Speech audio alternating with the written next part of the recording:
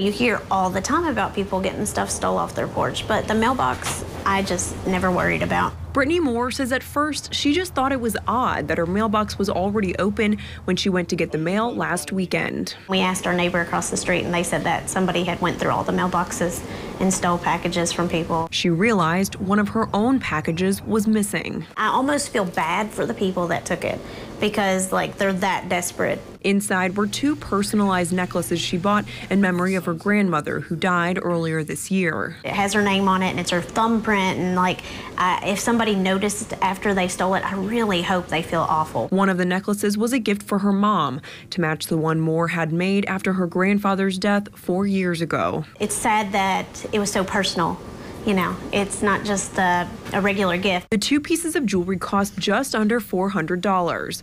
Moore says she reached out to the seller but hasn't heard back, so she plans to reorder just one to give her mom on Christmas. Times are hard for everyone. We're on a really strict budget too and can't hardly afford stuff, but I wouldn't steal something like out of someone's mailbox or even off their front step. She's also already looking into buying a mailbox equipped with a lock. I just can't believe people are getting that low and it's that bad.